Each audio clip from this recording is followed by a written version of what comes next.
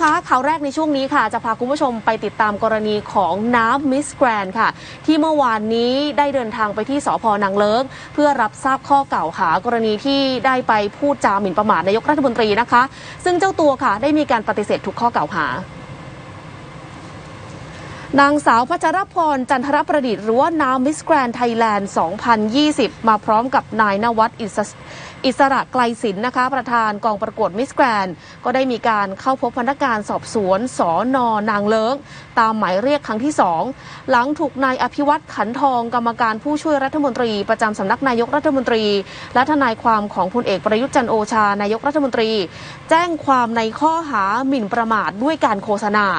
โดยเมื่อวานนี้ก็ใช้เวลาประมาณหนึ่งชั่วโมงค่ะ เข้าให้ปากคำกับพนักงานสอบสวน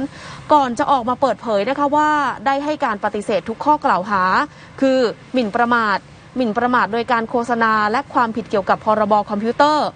โดยยืนยันนะคะว่าจะแสดงความคิดเห็นเกี่ยวกับการทำงานของรัฐบาลต่อ และไม่กังวลว่าจะถูกดำเนินคดีเพิ่ม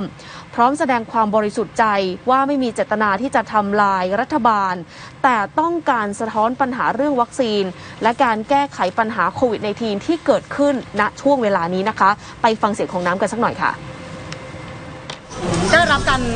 ยื่นเอกสารมาหนูขอปฏิเสธเพราะความคิดหนูหนูคิดว่าสิ่งที่หนูพูด หนูอ้างอิงมาจาก ข้อมูลจริง และหนูคิดว่าหนูเป็นเด็กคนหนึ่งซึ่งเรียกตัวเองว่าประชาชน ถ้าวันนี้เราพูดไม่ได้แล้วเราจะพูดได้เมื่อไหร่หรอคะซึ่งขณะนี้เจ้าหน้าที่ตำรวจเตรียมสรุปสำนวนของนางสาวพัชรพรส่งพนักงานอายการกรุงเทพใต้พิจารณาในวันที่ 6 กันยายนนี้นะคะ